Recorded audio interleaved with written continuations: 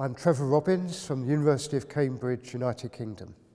I'm Martin Sarter from the University of Michigan in the US. Welcome to the 2017 FENS SFN Summer School from Castle Bertinoro, Italy. Well, I first got to hear about these schools by being invited to speak to one on addiction the previous year.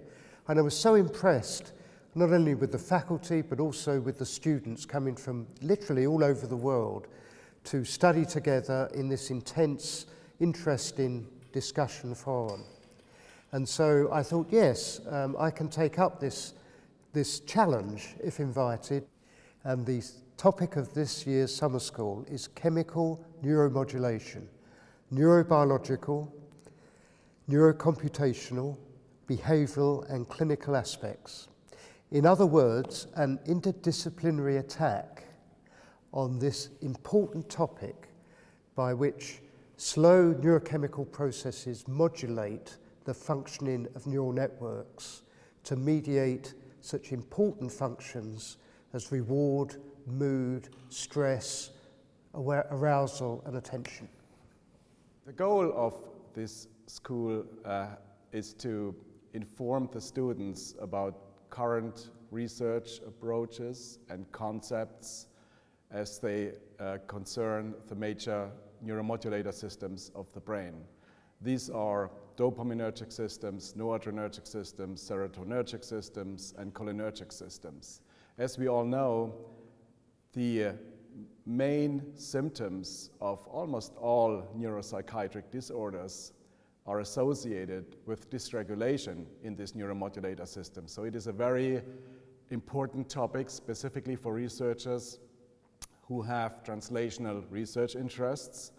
And this is something that has been in my sphere of interest for many years.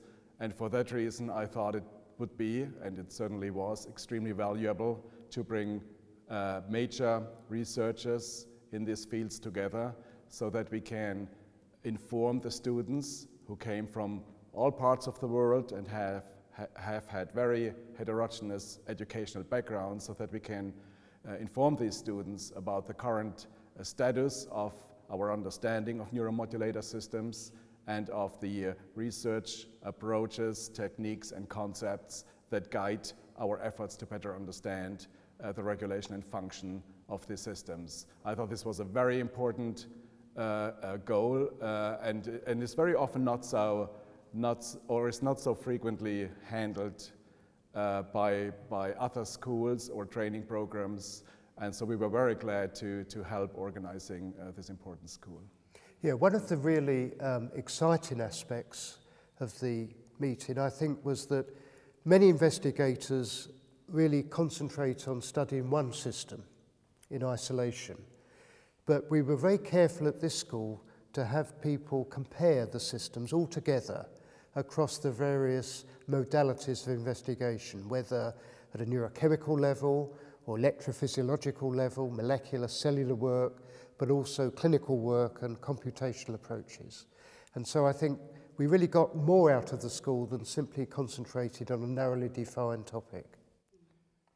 Uh, furthermore, in order to uh, really make this a valuable and effective educational experience for the students, we were in close contact with the faculty of this school and uh, discussed with them uh, uh, the, the idea that uh, their presentations um, would really adhere to the goals of the school rather than primarily describing their own research program and their most recent findings. And we were very, very glad that uh, the faculty uh, really embraced this goal and offered uh, very well developed, very educational talks that really allowed the students to fully understand the history and the current um, de developments in, in research on neuromodulator systems.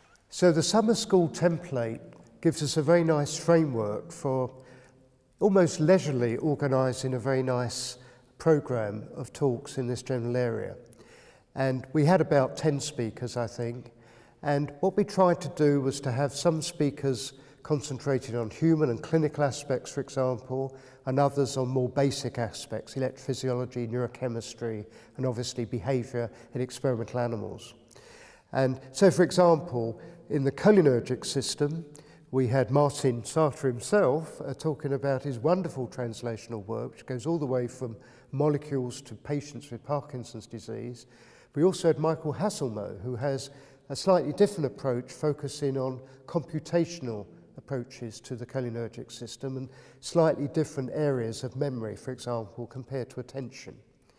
In the dopamine system, we had Tony Grace talking about his animal models of depression and schizophrenia in relation to electrophysiology of the dopamine system, and Mark Walton, who has a completely different neurochemical approach, which is more psychological in experimental animals.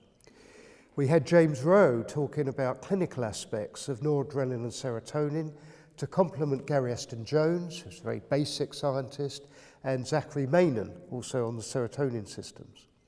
And we had two fantastic clinically oriented talks, one from uh, Gitte Moos-Knudsen, who works on PET mainly, positron emission tomography, and affective disorders in humans, serotonin, and Emre Duzel, who's going to focus on neuromodulation of the hippocampus.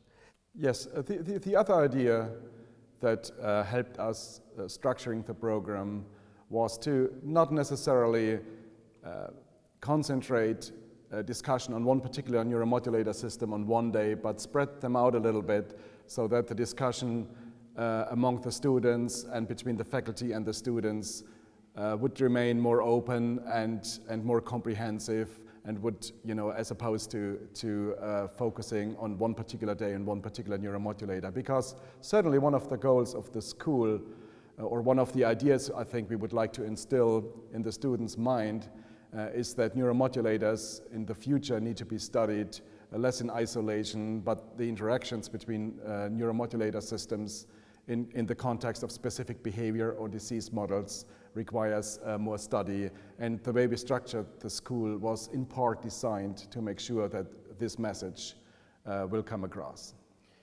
This school, in general, and the one I attended prior to organising this one, were among the you know, most interesting and exciting schools that I've attended.